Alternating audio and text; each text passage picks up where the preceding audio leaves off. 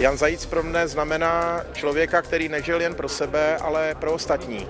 A proto se rozhodl zemřít, aby ty ostatní probudil z letargie a vyzval je, aby něco dělali proti eh, tehdejší nespravedlnosti, proti tehdejšímu nástupu totality.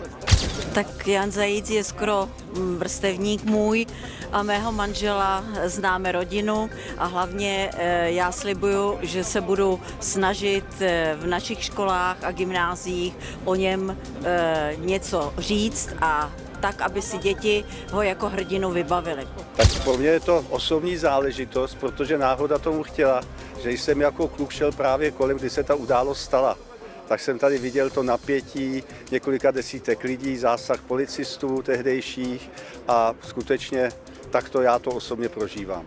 Pro nás vrstevníky to bylo vyjádření zásadní odporu proti okupaci. Desku paměti jsme tady instalovali každý rok, protože tady ten činu nic nepřipomínalo Jana Zajíce.